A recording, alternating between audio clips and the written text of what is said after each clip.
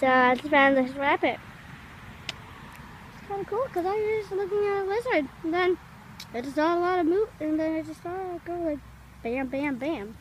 And now there's a cute little bunny thing gonna name Ginger. Well, no.